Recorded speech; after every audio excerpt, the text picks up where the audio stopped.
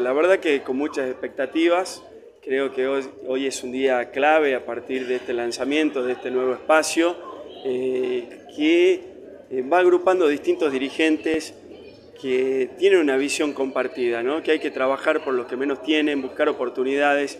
Salta es una provincia que tiene muchísimas riquezas, que tiene eh, desde minería, agricultura, ganadería, pasando por todo el tema de los frutos tropicales. Tenemos muchísimo para hacer y lo que nos están faltando son políticas públicas correctas. Eh, vemos que hoy hubo eh, en estos últimos años un gran conflicto con el tema del agua.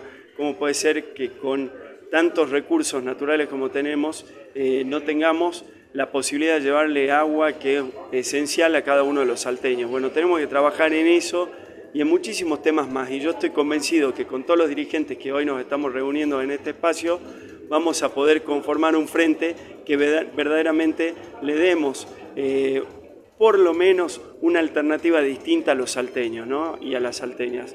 Habida cuenta que eh, desde el gobierno vemos que no encuentran soluciones en ninguno de los rubros, ni en educación, ni en seguridad. Este, vemos que a nivel municipal tenemos eh, conflictos en todos los barrios porque no se hacen las obras que se deberían hacer, baches por todos lados, microbasurales. Bueno, para todo eso vamos a trabajar en darle soluciones concretas. Hoy lo que quieren los vecinos son soluciones concretas. Mira, yo creo que lo más importante hoy es la conformación del frente, que podamos coincidir en una visión común de lo que se debe hacer en Salta. De ahí tenemos tiempo, faltan dos meses para el cierre de lista, creo que tiene que haber un debate interno y el mejor eh, candidato eh, será el candidato a gobernador, después pondremos un candidato a intendente, pero lo importante es poder coincidir en las políticas públicas y de ahí resolver lo que van a ser las candidaturas.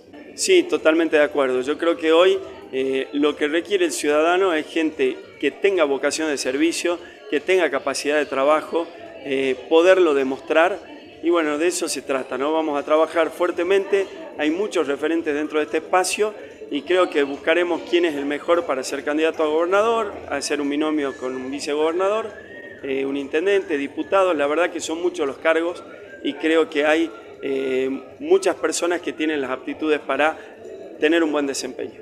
Eh, Pino, ¿usted cree que la gente quiere un cambio? Yo creo que sí. Hoy tenemos un gran flagelo en la Argentina que es la inflación. Lamentablemente todavía eso no está resuelto. Todo lo que tuvo que ver con la, con la pandemia también dejó este, grandes cicatrices porque todos perdimos seres queridos, fue una situación sumamente compleja. Yo creo que la gente lo que está buscando son alternativas diferentes y, buscar un cambio, ¿no? y, que verdaderamente eh, se lleguen con políticas públicas a solucionar todos los problemas que nos aquejan.